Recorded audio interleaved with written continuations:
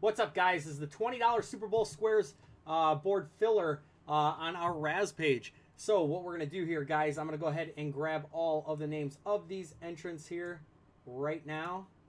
We're going to copy them. We're going to drop them into our randomizer. There they are, guys. Everybody's ready to go. Um, let's go ahead and write live on here. That way people can see this. And there, guys. If you're wondering.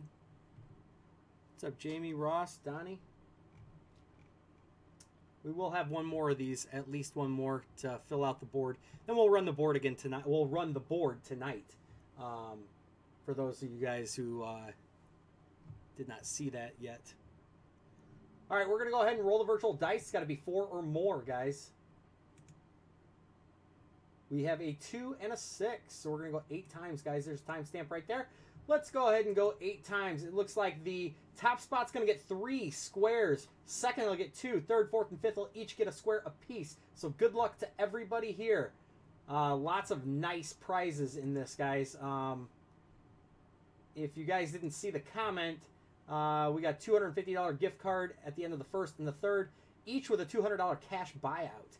Uh, halftime is a $500 gift card with a $400 cash buyout. And uh, finals a $1,000 gift card with an $800 cash buyout. Very nice buyouts here.